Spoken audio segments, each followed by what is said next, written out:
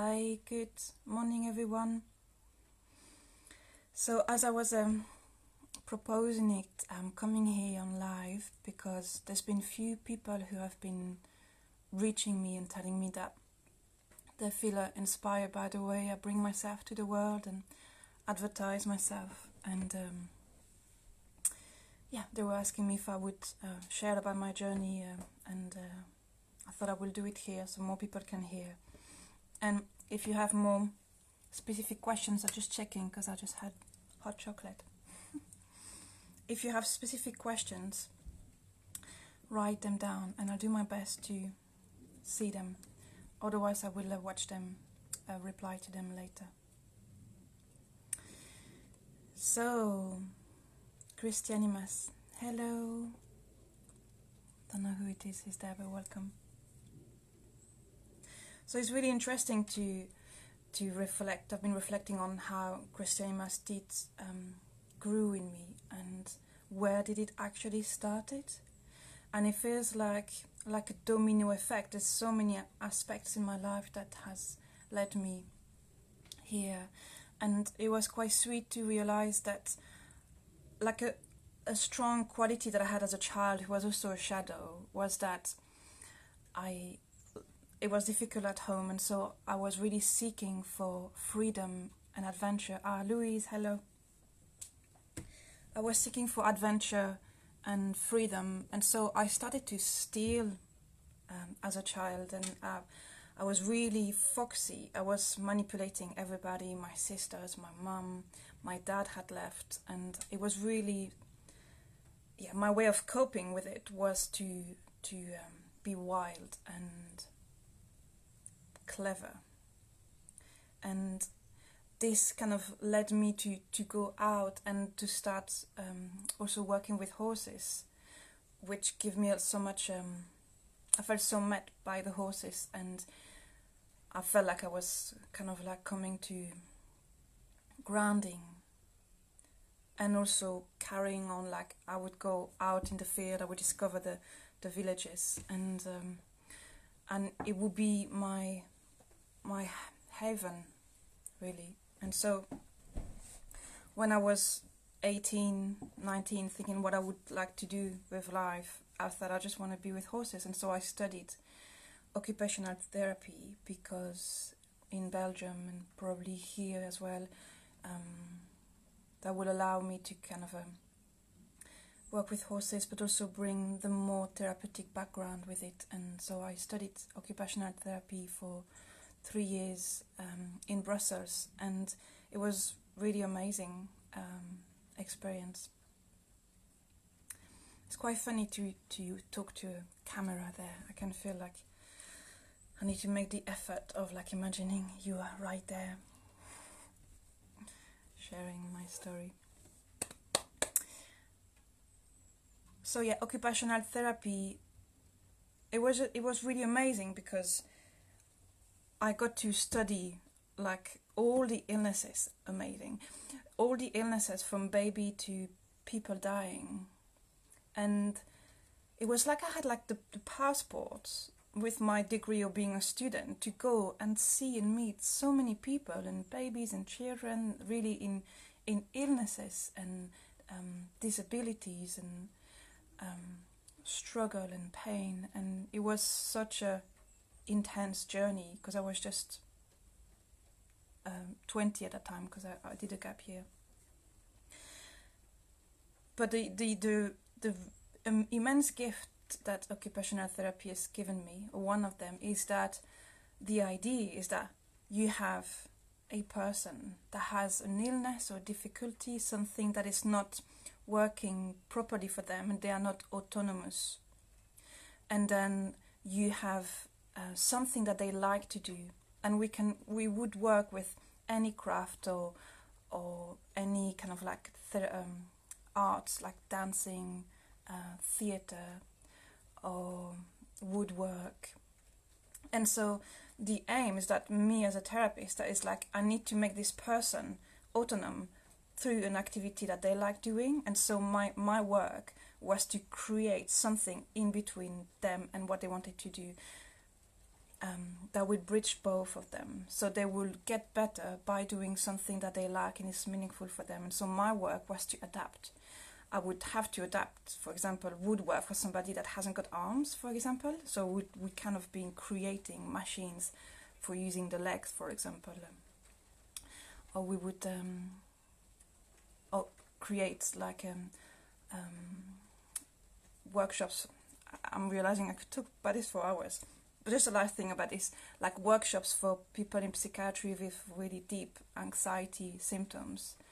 But they love stories. So we would create like I would create like a, a um, workshops of um, creating stories based on fairy tales, which is really reassuring. The fairy tales because they have like like the hero's journey. They have a a cycle that is part of our human psyche, and so I will adapt um, storytelling workshops creation for those people.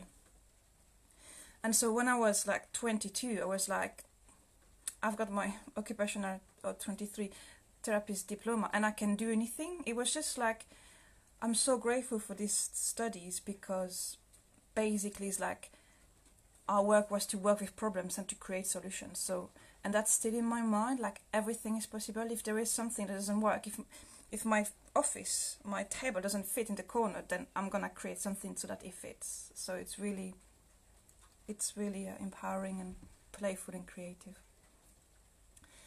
And so I worked in psychiatry with, um, I worked in psychiatry in Luxembourg with people uh, dying.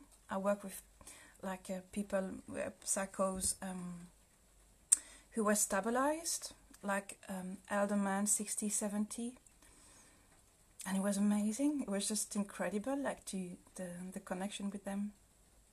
Hi, Richard. And then I work with children who um, sometimes were autist, autistic, sometimes had psychos, but on top of that had sensory disability, so they couldn't see, couldn't hear, and so they were kind of in this world of whatever they were experiencing with the psychos and autism without being able to kind of orient them, themselves, sometimes with hearing, sometimes with seeing, sometimes with both. So it was like being with with like creatures between humans and animals who had had like quite visceral and primitive behaviors. So I had like a kind of a rich journey into some beauty and also some really pretty dark working with psychiatry people saying that they have a hole in their head and they're completely freaked out and they can't calm down. It's like uh, it gave me a lot of um, insight about how as humans we can really struggle and but then I realized like okay this is how we can struggle but what happens to humans when we are well before we get mental health before we get illnesses and so when I was 28 I quit it. Everything was my Saturn return as well and went to Scotland with my bike and started doing woofing. And, and I was feeling lots of turmoil and anxiety and discontentment and everything suddenly was starting to fall apart. And so I, I wanted to take myself um, back up in the wild to find myself away from everything because everything was pissing me off. And so I was in my bike in the rain with too much baggage and realizing after few days and weeks that actually all my my discontentment was just following me around and uh, I started my Saturn return like this um, realizing that I needed help. Like I've been kind of like into this persona like I'm a therapist uh, look at me. And actually it's like I'm collapsing like everything is, is, is collapsing inside of me. Hey Fabienne Fabienne, lovely. Um, and so, as life does, as I was feeling really lost, I just met some, um, some people who were doing voice dialogue, and I didn't met them for another few months. But then I came down; they were in Devon, and I received the first session of voice dialogue. And the first session I had, I just didn't get it.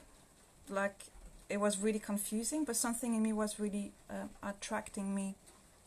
So I, I went into the training in Dorset, and because I was feeling so much anxiety and my anxiety around men, my relation to men with my dad having left and was really enhanced and I was just like I was just crying to the sky to says like what am I supposed to do with this vulnerability? It's just everywhere. Like I can't connect with anybody without feeling this this huge sense of being shit and being sad and being uh, lonely. And so um, the voice dialogue process for the first time in my life can give me this the the possibility of realizing that there are a lot of different parts in me. And there's a part I felt really tender and there's a part I was judging it. And there was a part I was trying to, to push it away and there was a part I had ideas but then would get swarmed by down by the vulnerability. And so when this part of me that felt just so heartbroken and I can feel vulnerability here to connect with her like it's just this young part that just didn't understand why um, my dad left when I was young and my mum was not able to look after me because she was overwhelmed. And and so this young part got to be met by the facilitator and there was Peter who is now my colleague who was like a is like an elder now. So he was like a dad like figure. And this part of me it was starting to have this part of me to understand what was happening. Like any parents would would play around like trying to put words for the child. And so suddenly I started to make sense that what I was feeling there was nothing wrong about it and that actually somebody else was interested to be with me while I was feeling terror while I was feeling loneliness and all of this. And so bit by bit I kind of went down and down and down into the vastness of the grief and the pain of this part of me. And session after session kind of going more wider wider until it felt like at one point I just like um my body starting to to stop I stopped crying and feeling mourning and grief and I felt my body turning. And so the work with voice dialogue is like it's body wisdom it's energetic rhythm. So you kind of follow what is happening and my whole body kind of turned.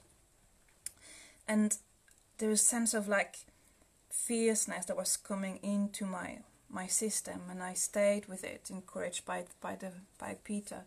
And suddenly I felt like I was a fucking like herd of wolf that was just like fucking like pissed off and fierce. And it's just like we're not gonna let anybody come near you who is not like have good intention. And it was the first time in my life that I touched into instinctual energy because before I was so identified with vulnerability that it was taking the whole space there was no space for power. Because I was with vulnerability but I didn't know how to enter it and to really release it. And so I touched into instinct and then I was already in love with voice dialogue but then it was just like oh my god like you know I've I'm swearing a lot recently. I'm quite enjoying. Part of me wants to apologize and part of me just wanted to just do it I was just like, I fucking have like a herd of wild wolf. And the fact of feeling being wolves, it was like the most amazing things, like best trip ever. And so I, I carried on with voice dialogue and, and like find like really explore my vulnerability, the part of me that are holding that. And then once they were met and understood that start to be healed, there was just love, you know, this this young part that just like falls in love with leaves and other people and, and um, has got so much goodness in it. So this part was more available for me. And then I got in touch with more instinctual energy and then protector parts of me, anger parts, and then sexuality started to come through and then creativity and I've, it felt like I was just like all this part was starting to become available for me and as I carried on, it's like it just it just keeps on happening. And so now I have lots of part of me that I know who to call whenever I need, and that are part of me. And sometimes people say, "Oh, you you are so calm and so good at listening and all of this." And and in my own experiences, because like I have made space for, and there's lots still for me to discover, and I still have shadows and and vulnerabilities there keeps on coming, but I'm and at peace with it. But the thing is that it feels like there's more space in me and I have a trust about what's the the essence that is present in every human. So when I work with a client now, like I'm I'm just like in that trust, and and I think it's really reassuring for people to feel that when I'm doing fooling. I do trust humans, humans and human human psyche with this process. It's like realizing that dark part of us, you know, like the part of me that was stealing and that was like.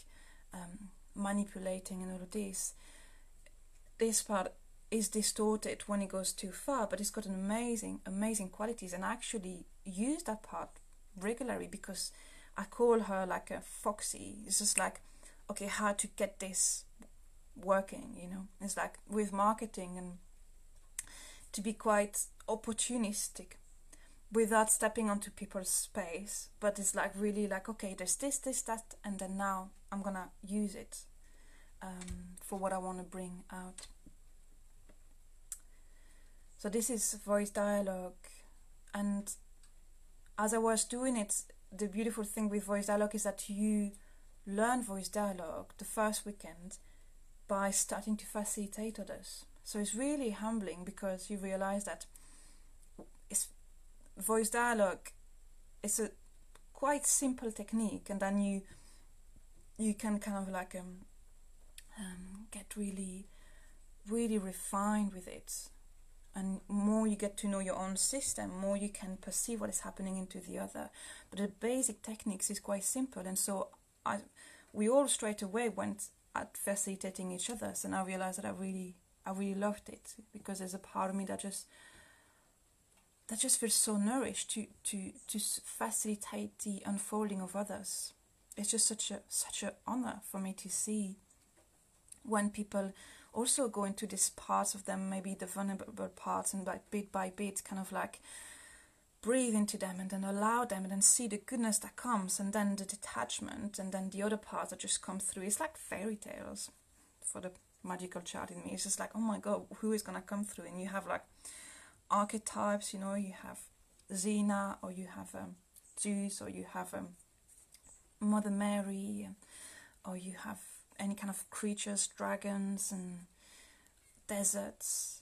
Like everything is kind of everything that is available, like in our psyche as human beings, like with the work of Jung, that this work is really inspired by, is coming through, and so it's really, so it's really to really um, fascinating to see. So this is voice dialogue and how because I started directly to facilitate, I just quickly got um, confident about my ability. And then I met Fu, uh, I met Frankie, who was actually did also the training in voice dialogue, and and I went to do fooling with her, and with the flexibility of the parts work in voice dialogue, I, I like fooling, who is a group practice where we drop into the different parts of ourselves as as we are standing in front of each other's it just made sense totally. And for the playful part of me it was just like oh my god like this is not only about therapeutic and healing process although fooling is also therapeutic and healing. It's also playful. It's like like our psyche is like a playground. Like the fooling really uh, is teaching me to to even more like um, being shape shifting and realizing that in that detachment there's so much energy that comes and so much freedom and the the possibility of feeling like oh my god like finally I, I am myself. And the the the healthiness of that. And, that's why most people wants to come back is because it feels like this practice really helps to allow us as, as a species to realize that all that is alive in us actually we it's material that we can um, enjoy and receive energy from and get more understanding about ourselves and then see other people being into the shadows and the places where they might be ashamed and then realizing oh my god like it's the same. Thank you for playing this because it's the same for me and so at that time, I was living in a van. I just came out of a relationship where, funny enough, even though I was doing voice dialogue, I still got stuck into my little girl kind of got got attracted by a man that felt really kind of sorted and confident about life, and and we got together. But I was identified with her, and um, after a while, like it just stopped, and uh, I was also exploring the relationship with three people, and it was amazing, and it was super painful, super shadowy, and I learned a lot about myself and my needs. And so I was living in a van, and I was starting to feel like actually I'd love to start sharing all of these. And so somehow I'm I met my next partner, and then I found a hi Laura, I found a, a place to live that actually had a workshop space. And my own understanding is, and I'm, maybe I'm a bit romantic, but is that it feels like things are really flowing for me when I'm really authentic with myself and when I have the tools to really give space to different aspects of me so that I can disidentify from them and then come back into the center. When I'm identified with, oh, I need to make it work and I don't have enough money or this is stressful, this person pisses me off, then, then it feels like my own energetic field and my reality just like zoom down into two dimensions and I'm like a flat cartoon and it's like nothing is happening and I'm trying but I don't have energy and all of this. And then if I if I acknowledge it's like well I'm scared here or there's a part of me that is scared of not making it in life and society is scary and to actually go into this part and because having been helped with by facilitators to go into this part and feeling the pain, feeling the fear, and staying with it, and allowing what we call like the emotional movement is like allowing fear to be there like children are scared. They go back to the parents, they are being reassured, and then they can, can go back out. And it's like being able to do this with myself again and again. I kind of cleared, um, I think, a lot of um, uh, identifications of parts of me that didn't serve me. And so it feels like when I feel like, well, I'm, I'm ready. I'm ready to settle down and start offering um, voice dialogue and fooling. And actually, I was doing also Wild Shakti, but this is another subject. Um, everything happens basically. I got a place with a little cottage that I could afford. There was a workshop space in the countryside. I started doing workshops just in front of my house, and um, yeah. And it feels like from there, as I was moving along, like working with people, people would trigger me, or the farm where I was got sold. Um, or there was like dynamics I can't remember now but I'm sure there's plenty of like triggers that were coming on the way the thing is that I kept on going voice dialogue sessions all the time and because I was giving sessions as well I also by giving session is like having a session at the same time so I kept like personal development going and a fluidity and what it feels like as an entrepreneur or wanting to offer who we are to the world is like we are the tool and so the amount of self care and um, continuous like um, personal development practice, I think is the is the tool um, is one of the the key of me feeling where I am now here. Um, I'm talking a lot. There's a part of me who just love all of this. I'm just taking a moment.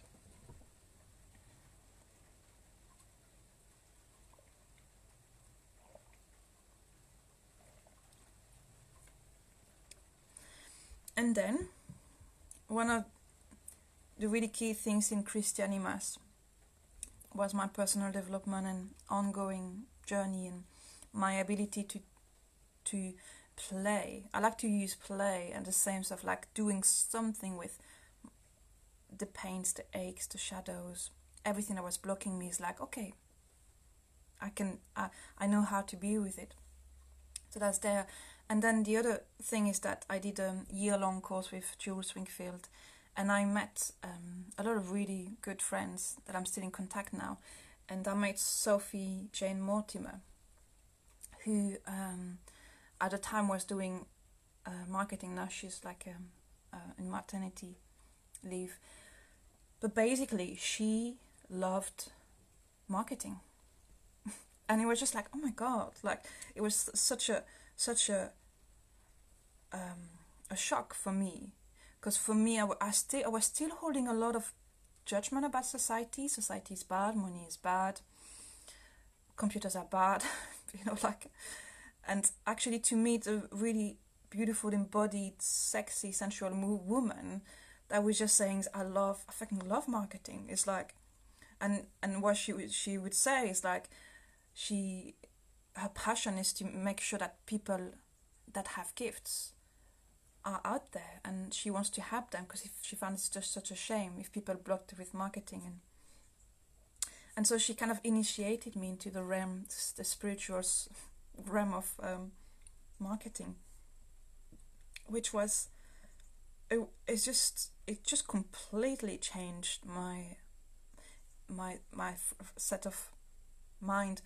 Instead of being into victims like oh there is this this cold thing marketing. It was just like wow this is this is play. And she taught me how to to use marketing as a way to anchor my own personal spiritual um, development and research for my work. So whatever i would do is like this would be the content for my marketing. And so this is what i'm doing here again. It's like whatever um, my my questions and my research are is what I'm sharing to people, and that's what people are responding because it is authentic, and it is um, right, fresh in the moment. And so I realized that marketing is like is like transporting what's inside to outside, and um, and I learned like few few techniques and learned about Facebook and and um, MailChimp and creating a website. So that's Sophie. She's my star. And then personal development, Sophie. And then another thing is that I was doing living care work at the time, um, which allowed me to make money enough for me to live on. And then sometimes I had like jobs that was I had so much time, and then I would work on Christie Animas. And so there was no money stress, and this is, it just makes me so sad that, that there's so much goodness in everybody, and then the, the situation of maybe having kids and money and and um, stress of life. Hi Shay. Yeah, I had the privilege of being able to to do a job that would that was not stressful. That was quite healing. It was just hanging out with an elderly person, cooking for them, and then having lots of space. And so I could kind of like start to learn about doing a website and and starting writing and starting learning how to advertise workshops. So these are the, the three things my personal development, the support of the marketing goddess, and then the money enoughness that um, that I had. And because I had the money, then I could start employing people to help me, like a virtual virtual assistant, um, Alison, who would um, help me with my website when I need it. It's like whenever I have a question, she just replies, and like people like my cousin Forkosh, um, who would just she just she just loves computers, which um, I'm getting better, but he just loves trying to find out if there's a problem. He just loves trying to find a solution, which is just another genie for me. Um, so yeah, just having like this key person and my, my partner was kind of like checking my English and and so I had like life was just bringing what I was needing around me um, with Christie Animas and yeah, so this is the main frame of Christie Animas, how it how it happened, and what it feels now. That is keeping it really alive and exciting. I have learned voice dialogue, I've learned fooling, and now I'm kind of creating. I'm just um, designing new programs and intensive and workshops, blending voice dialogue and full expression, because um, they are so complementary, and I think that's that is the way that I have learned. That I have been able to come out to the world more more freely is by all those techniques together, and um, and so in the it feels like it's a new phase for me now, and I'm taking a creative break. Although I'm doing a, a couple of workshops now, to kind of like sit back and learn to re- go back into my reflections and my notes and I, I want to map all the themes and topics that Christie Animas and Fooling are bringing together. Like what what are people working on? What are the problems? What are, what is working for them? What are the themes? What are the patterns? What are the psychological development aspects that are being touched by both of them? So it's like i want to create like a um, a template on which i can base myself and then put myself more clearly out there. Um, I was say, going to say something else about that.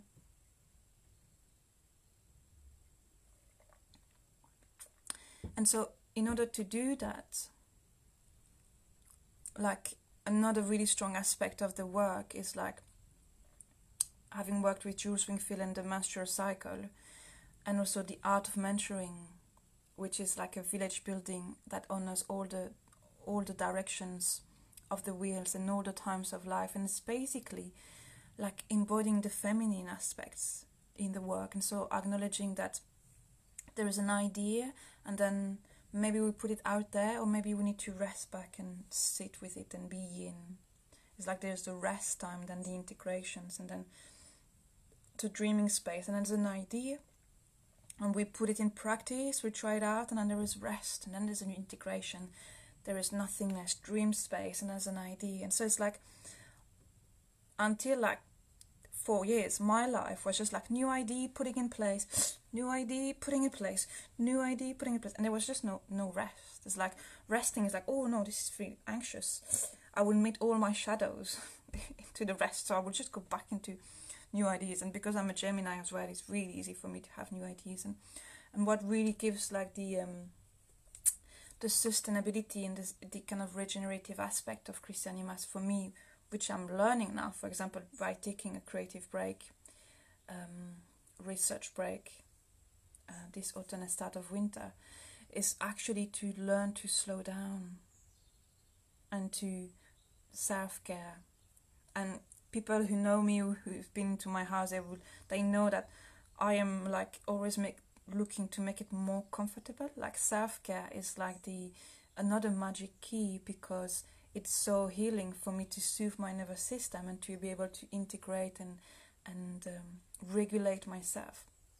And so all these aspects these feminine aspects um, are like a major major uh, key of my work and I know you might project that I'm always out there. The thing is that now I also have um, um, um, G-Bob Rob, a friend who's doing social media for me, and so he's doing work for me. And so it's easy to project that I am always busy, but actually I am stepping more back and I am working on my creative projects. And so to finish off, um, um, Ben been asking me about how do I do this advertising from the heart. And this really brings me back to the, what Sophie showed me um, is to realize that whatever is alive in us and authentic is the medicine. We don't need to make it look a certain way, this or that. And so the way that I advertise is, is is my understanding. Hi, Elisa. the way that I advertise is is like firstly it's like something that's really dear to my heart like all these practices have basically kind of taken me out of a really grey anxious reality for me so it's like you know it's like this colorful goodness so the way I talk to it is because it's so dear for me, and I think people feel that. And because I've been into dark places, and I still go into pretty dark places, but by doing all of this, it just my heart is more open, and that I think it comes through.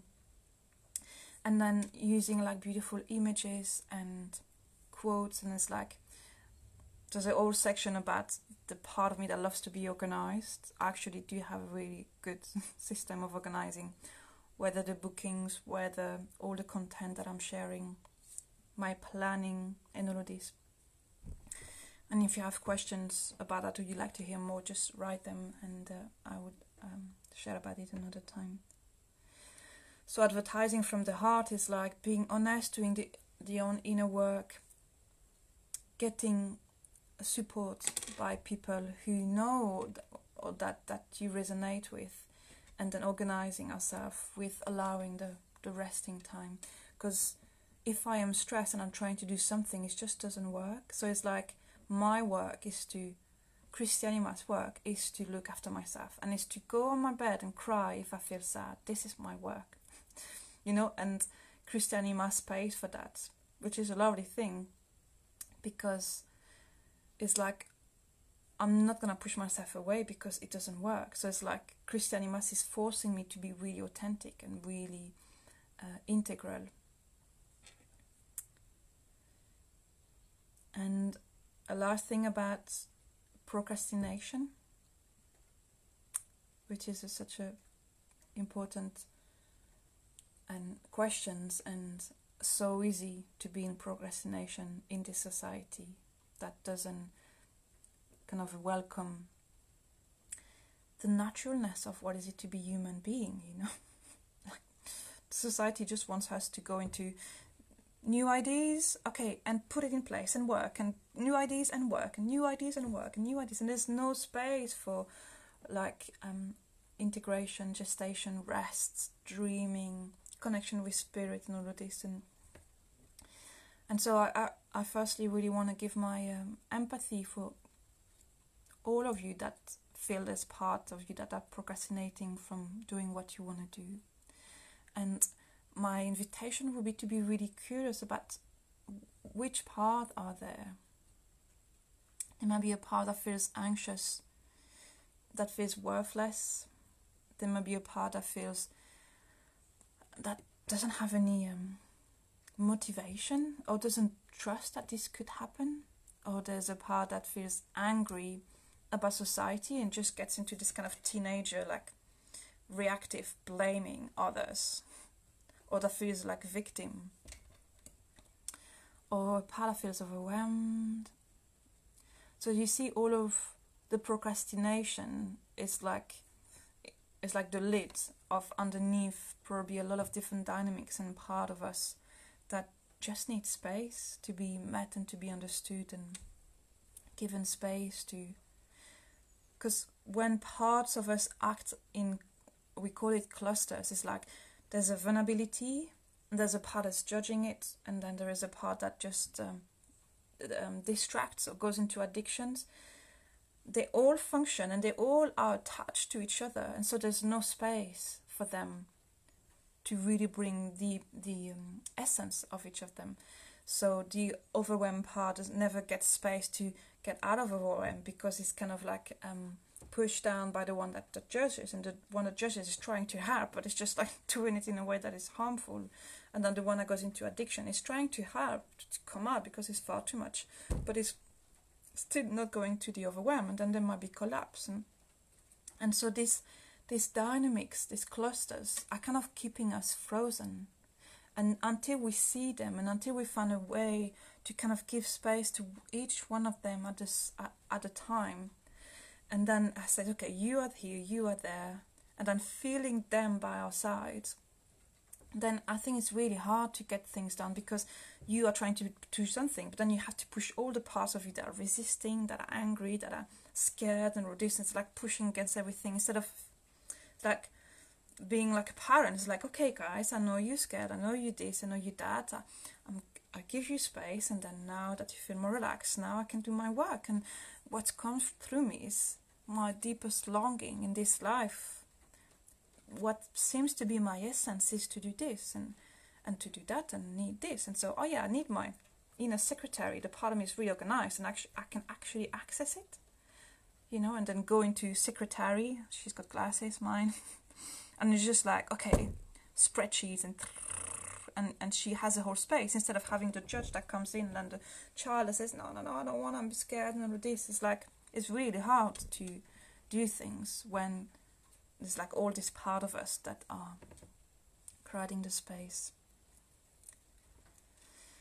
and I'm just realizing that Ben, you asked a beautiful question as well about my own relationship to Christie Animas, and I was really inspired. I did um, uh, a year training with um, Madeleine Rustai, um, Body Informed Leadership. That was just amazing, and I'm still integrating, and I will share more about it. About um, the nervous system and the way that we are um, conditioned by our culture and our society without we, us realizing. And she said to me that she she loves body informed leadership like a thing, like she she's try to remember exactly what she said. I still feel the goodness of the way she said it. It really awaked something in me. Like Sophie did awake that market, marketing love and playfulness. But Madeleine, she said that um, she didn't push it to get her business out there a lot she has been more tending to really have a really good relationship with her business. And so that it was more important to have really good quality clients and participants. Hi, Irene. Just talking about Madeline, you might know her. And so she talked about the, uh, the relationship that she built up with her business that felt so satisfying that she didn't need it to have lots of bookings and lots of money. And it was like a revolution for me to realize because business is like okay making money kind of things. And actually and i wish i had another name. Maybe you have another word that could be used to inspire me. Is like it's not business it's not it's not business. It's like bringing the work out outside into the world it's like sharing. And so before sharing it out there it's like really having a relationship with it. And and i'm still working on that. I love ben that you asked me that. Um, yeah. It feels a bit like like with relationships there's two people and then there's the relationship in between and i can love the other person but i can also really love the relationship and it feels like it's the same with Christie Animas and Actually, I feel like I need to sit a bit more with this. And if I have uh, something that might be interesting, I will share. Et voila, wow, it's like almost 45 minutes. It was really nice to share all this. If you have remarks, I can't really see that you have put messages here. I hope I haven't missed. But I will see when I, as I publish the video. So this is some bits around how I brought Christie Animas out and the keys for me. And um, yeah, don't hesitate to share your comment, reflections, or questions. Blessings to you into this first day, rainy here in Devon, which is really good for the plant. I look forward to next time we see each other. Blessings.